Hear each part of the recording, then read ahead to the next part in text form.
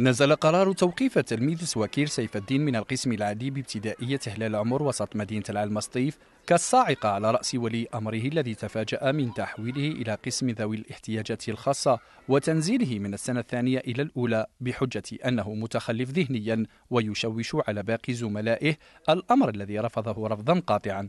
نقطة.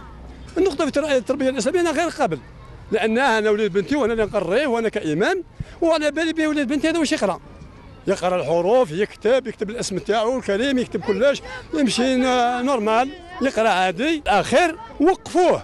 داروا التحويل داروا له تحويل من من المدرسة تاع تاعو إلى المدرسة هذه تاع المعوقين هذه. أو هو المديرية تفاهمت مع مع لاداس مع الضمان الاجتماعي. وداروا له وثيقة مزورة. ومن جهة مديرية التربية التي تؤكد استحالة مواصلة التلميذ سيف الدين بالقسم العادي لظروف بيداغوجية وسلامة ذهنية لم يتفهمها الولي الذي استفرد بحفيده حارما إياه من القسم الخاص لما يقارب الشهر. إحنا نحاول قدر المستطاع أن نتكفلوا بهذا التلميذ في الأقسام المدمجة في التوحد في الاضطرابات الذهنية الخفيفة أو رسوم مدرسي أو فشل مدرسي في الأقسام المدمجة.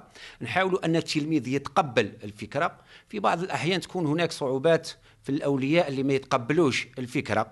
عندنا بعض الأولياء اللي مباشرة هما اللي يجيو لينا ويلتجئوا ونروحوا لوحده الكشف والمتابعه من أجل تشخيص وضعية التلميذ الابن تاعهم. باه مباشرة يروح القسم المدمج الخاص. بسم الله الرحمن الرحيم. إلى في قش إلى في محرز الشتاء والصيف. إلى حين وصول الطرفين إلى أرضية اتفاق يبقى هذا التلميذ وحده من يدفع فاتورة حرمانه من حقه المكتسب دستوريا في التعليم كبقية أقرانه.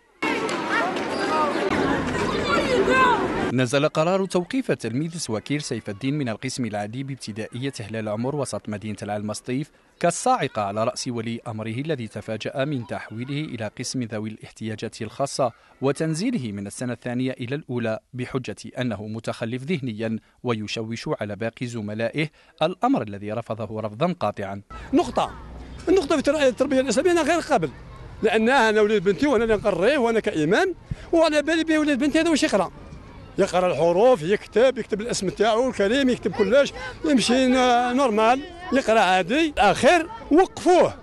داروا التحويل داروا له تحويل من من المدرسة تاع تاعو إلى المدرسة هذه تاع المعوقين هذه. أو هو المديريه تفاهمت مع مع لاداس مع الضمان الاجتماعي. وداروا له وثيقة مزورة.